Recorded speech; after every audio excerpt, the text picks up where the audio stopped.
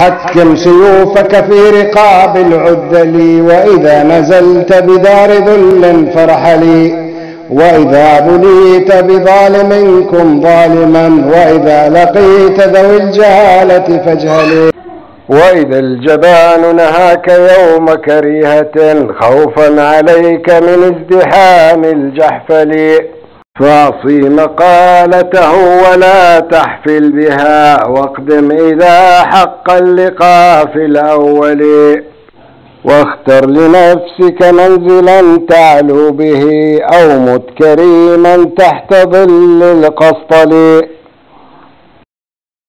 فالموت لا ينجيك من آفاته حسن ولو شيدته بالجندل. موت الفتى في عزة خير له من أن يموت أسير طرف أكحل. إن كنت في عدد العبيد فهمتي فوق الثريا والسماك لأعزلي أو أنكرت فرسان عبس النسبة فسنان رمحي والحسام يقر لي وببابلي ومهندي نلت العلا لا بالقرابة والعدل لأجزلي ورميت رمحي في العجاج فخاضه والنار تقدح في شفاء العنصل. خاض العجاج محجلا حتى إذا شهد الوقيعة عاد غير محجل.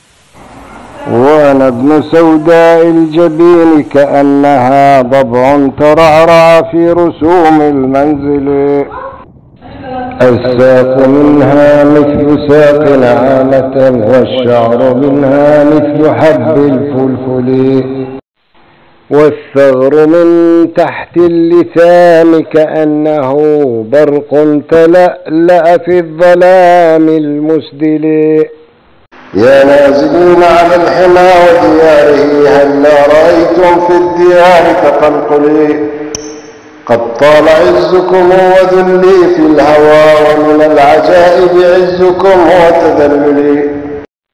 لا تسقني ماء الحياة بذلة بل فاسقني بالعز كأس الحنظل